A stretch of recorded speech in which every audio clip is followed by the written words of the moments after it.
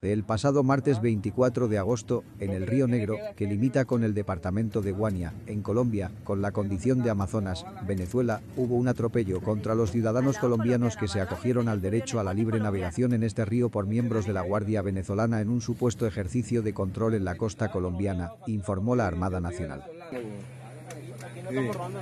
¿No? Madre, está, está- está amarrado colombiano, papi. El bote está amarrado y se está encima del bote colombiano. Y armado. Y armado. Armado. ¿Usted está armado? Sí. Está armado. ¿A revisar eso? Bueno, revise, revise. Revise bien. ¿De dónde viene eso? ¿De dónde viene eso? ¿De dónde viene ese bote? Colombia viene... Entonces, ¿por qué tú tienes que revisar un bote que viene de Colombia y va para Colombia? Nosotros nunca. Estas aguas son inter- internacionales. Sí. Ah, ahora sí sabes, se recogen internacionales, ¿cierto? Me gusta ese Yo no entiendo, nosotros la Guardia, la guardia Colombiana nunca, nunca, nu- nunca cogió un bote de ustedes.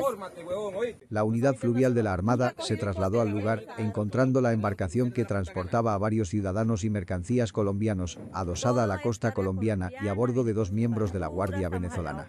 El personal militar colombiano invitó a los militares venezolanos a desembarcar del barco y retirarse, garantizando la soberanía y protegiendo a los ciudadanos colombianos que se encontraban a bordo, dijo la institución militar en un comunicado. Secretaría de Marina de Colombia. ¿Qué hacen acá en el lado territorial de Colombia? Explíqueme si es tan amable.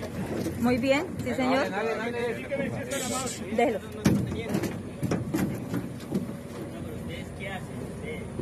Ustedes como Guardia Venezolana, ¿qué hacen en el territorio colombiano? saben qué están haciendo, entonces ¿qué hacen Revisando la embarcación. Está en el lado colombiano.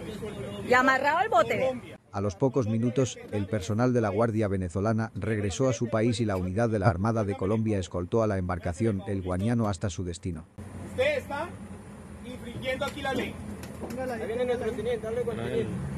No, es que hable no. Se me bajan de la embarcación y se pasan a su embarcación si es tan amable. Disculpe, ¿qué hace su tropa acá en el lado colombiano? ¿Qué hace? Por favor, me da una explicación.